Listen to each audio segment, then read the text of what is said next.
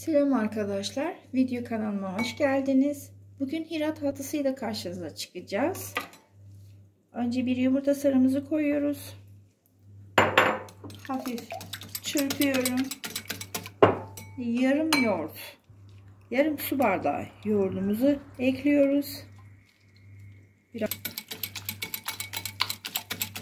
sıvıyı da çırpıyoruz. Harika oldu. Bir su bardağı un. Bir su bardağı irmik.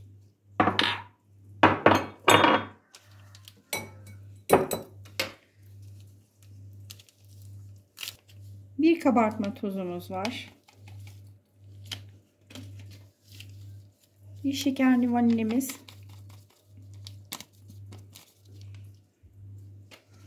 Bunları yoğuracağım ben. Yavaş yavaş.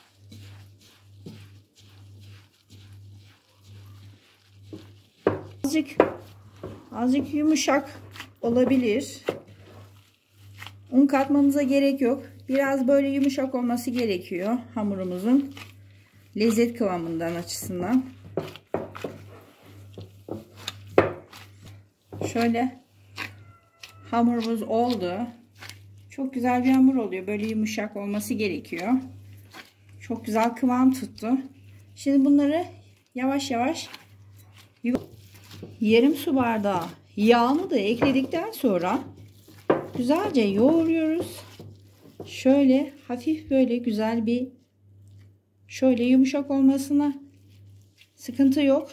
Çünkü kıvamı böyle olması gerekiyor.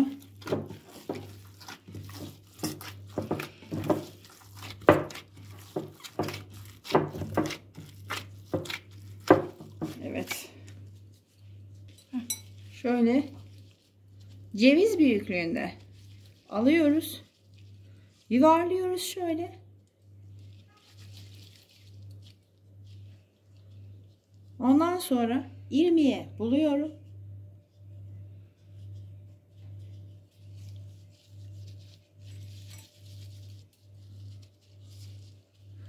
Hepsime diziyorum.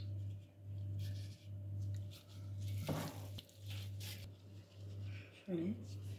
İrmiğimizi buluyoruz. Tekrar yuvarlıyorum. Şekil güzel görünsün diye. Şöyle diziyorum. Ekliyoruz. Evet, fırına götüreceğiz. 180 derecede ısıtılmış fırınımızda. Üstlü arkalı, önlü arkalı pişinceye kadar biraz başında bekleyeceğiz. Zannedersem 15 ya da 20 dakika olması gerekiyor. Tatlımız pişerken biz de şekerimizi, şerbetimizi yapalım. 2 su bardağı toz şeker, 2 su bardağı da su ekleyeceğiz. Birinci su bardağı ve ikinci su bardağımız.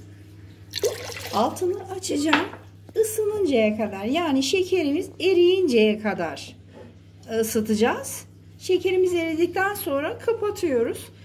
Hira tatlımızın şerbeti de böyle oluyor. Şöyle karıştıracağız. Suyu ısınıp şekeri eriyinceye kadar karıştırıyoruz. Ondan sonra eridikten sonra kapatıyoruz. Çünkü tatlımıza verilen şeker kıvamı bu. Ölçüsü bu. Evet arkadaşlar.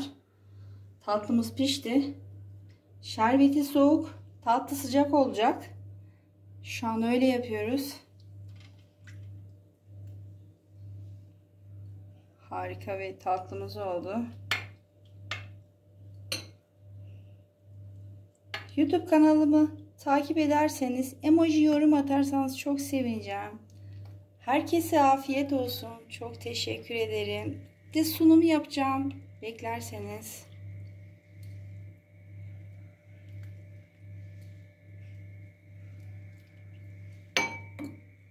Çok da güzel çekiyor kendine.